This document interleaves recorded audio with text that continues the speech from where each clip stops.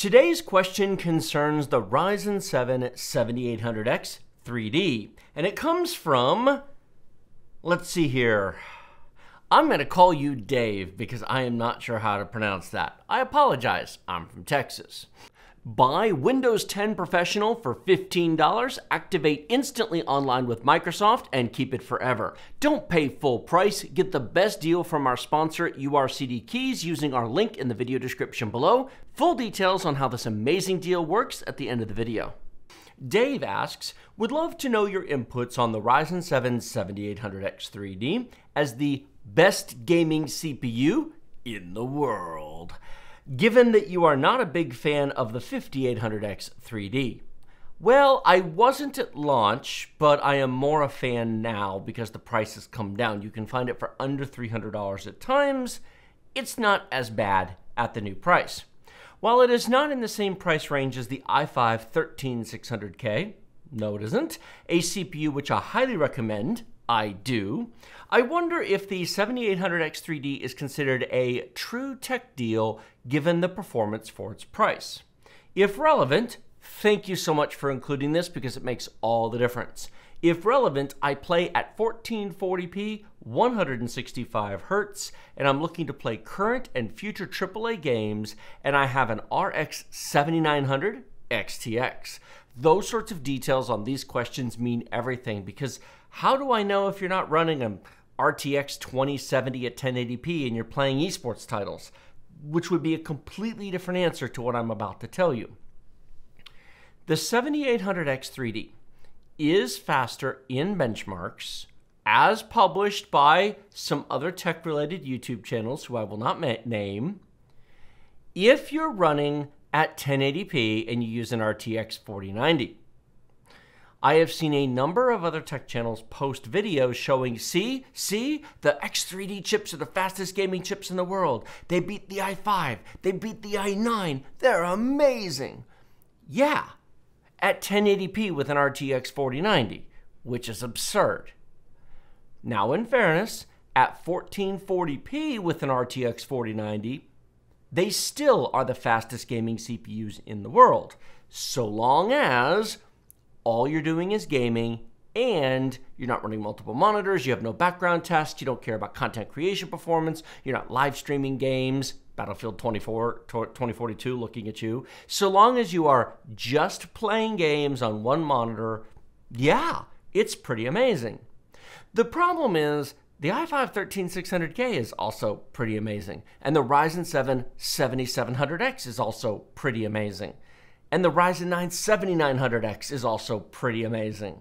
At some point, we're arguing about Ferraris and Lamborghinis here. Well, my car is one tenth of a mile faster than yours. Well, my car does zero to 60 one tenth of a second faster than you. Seriously? Y'all have really nice cars. So many people out there are gaming on i5 6600Ks, they would love to have any of the above. But of course, you could afford nice hardware, and that's understandable.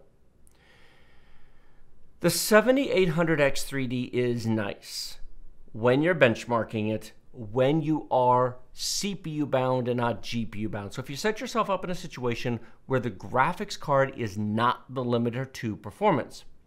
Now, in fairness, you've got an RX 7900 XTX. That is an amazing graphics card. It is faster in many respects than the RTX 4080, unless you're using DLSS 3, but it is in general a bit faster. It is not as fast as a 4090, but it definitely is a top tier awesome graphics card. However, you said current and future AAA games, 1440p, 165 Hz monitor without benchmarks, I don't think you would actually be able to tell the difference in a blind side by side test between an i5 13600K and a Ryzen 7 7800X 3D.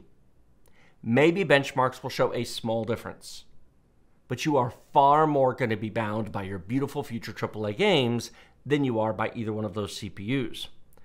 Until the minute your computer wants to do something besides benchmark a game, when we test games, when other tech YouTube channels test games. We have clean test benches with clean installs of Windows. Everything's disabled. Windows updates are disabled. Background antivirus checks are disabled. Everything is turned off. And the only thing running is the game, the launcher, and MSI Afterburner. In those conditions, the extra cores and threads of a 13600K really don't matter very much. In the real world, with a real computer with OneDrive and G Drive loaded and background updates and antivirus running and background music playing and Discord open and Twitter open and YouTube or Twitch stream open and playing games and background tasks running. This is the problem with 8 core chips. An 8 core 16 thread chip was top tier stuff in 2017 and 2018.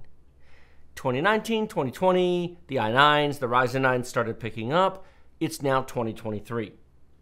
You have a $1,000 graphics card.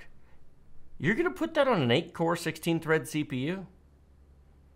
Looking for a Windows 10 or 11 product key, but you don't want to spend $100 to $200 for it? Our sponsor, URCD Keys, provides discounted Windows keys at amazing prices. $15 for Windows 10 Professional, $21 for Windows 11 Professional, and just $60 for Microsoft Office 2021 Professional Plus. These product keys are the real deal. They activate directly with Microsoft Online, link to your Microsoft account, and they work forever. For Windows, you simply go to Settings, Update and Security, Activation, click Change Product Key, paste the key provided by URCD Keys, and in seconds, you're activated with Microsoft. For Office, go to setup.office.com, sign in with your Microsoft account, paste the product key provided by URCD Keys, and then download Office 2021 Pro Plus directly from Microsoft. Remember to use the discount code TD20 to save 25% off the already deeply discounted prices and support our channel at the same time. We have been using product keys from URCD Keys for almost five years now without any issues and encourage you to do so as well. Sure. For 450 bucks? Eh, yuck. It's just not very interesting. If you believe the 3D chip makes a difference for your particular games, well, thankfully, the Ryzen 9 7950X 3D exists. And while it is obviously more money, you can afford a super premium monitor, you have a $1,000 graphics card. That removes the compromise of cores and threads a bit at a higher price. I also don't think you should buy an i5 13600K either. For what it's worth, for $100 more than the 7800X3D, you can get an i9 13900K. And the i9 13900K is bloody amazing. 24 cores, 32 threads.